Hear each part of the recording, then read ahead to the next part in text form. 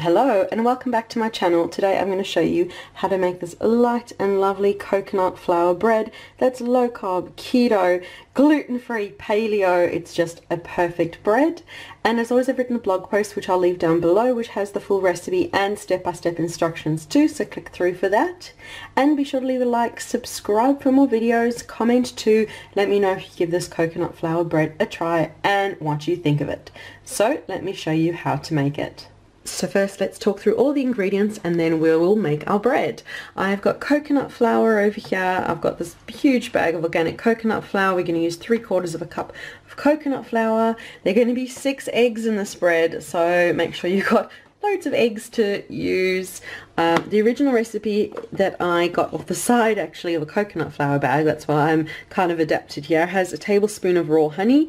I'm using a tablespoon of stevia instead, but you could use raw honey, sugar, really depends on your dietary requirements, whatever you like, but for it to be low carb keto friendly, use stevia but yeah it's up to you. I am using salt just to balance all the flavors. We've got baking powder just to help our bread rise. I'm using arrowroot which is a light gluten-free flour alternative that just helps bind everything together it's there's only two tablespoons of it. Usually arrowroot used in large amounts isn't low carb keto friendly but in this recipe the two tablespoons kind of just go between all the pieces and it's okay but again it's up to you. And if you want to make the bread dairy free then use coconut oil if not then you can use melted butter or you could just choose either so it's either a half a cup of melted coconut oil or a half a cup of melted butter which works out to be approximately 113 grams of butter so it is up to you whichever you want, but all of the information will be in the blog post down below with a full recipe so you can make this bread whenever you like. So let's get cooking.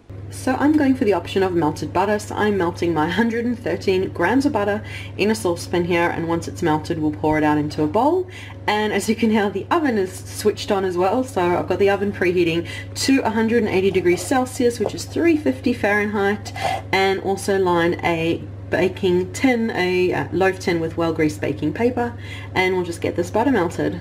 The butter is melted, so we'll just pour it out into the bowl.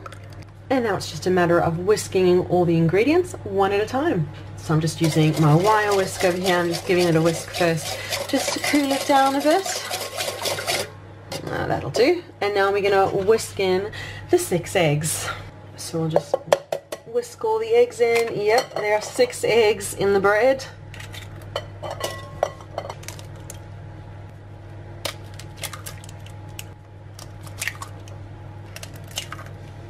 And the sixth egg going in. And we'll just whisk all those eggs in.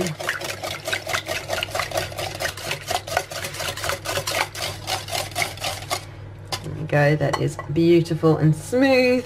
And now we'll whisk in the salt a good pinch of salt. And we'll balance that with just a tablespoon of stevia. And whisk that in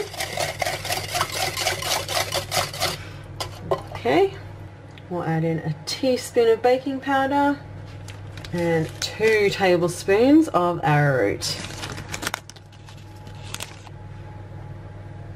Give it all a good whisking.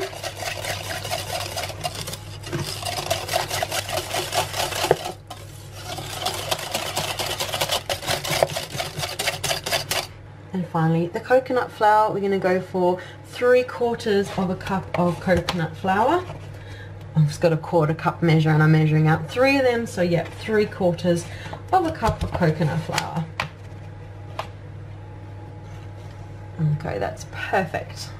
And we'll just whisk it in until we have our bread batter. You go, you can see it's made a lovely bread batter. Now we'll pop it into our loaf tin. So I've got my loaf tin that I've got lined with well-greased baking paper and we'll just pop the bread mixture in and just flatten it down. There we go, that looks pretty perfect to me. And now it's going to go into the oven which again is preheated to 180 degrees Celsius which is 350 Fahrenheit and pop it in for 40 to 50 minutes. Really just depends on your oven baking and on how it looks.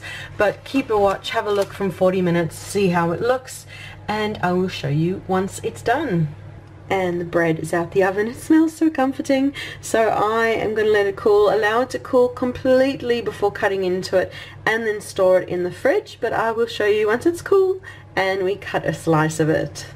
My lovely coconut flour bread has chilled completely so we'll cut a slice. And there you go, it's light and fluffy inside and it just is a beautiful bread that you can just spread some butter on. You can spread avocado, make egg mayo, tuna mayo. You could pop some of my lovely chia jam on it. There are endless options and I'll give a couple of ideas keto friendly toppings in the blog post as well down below so click through for that.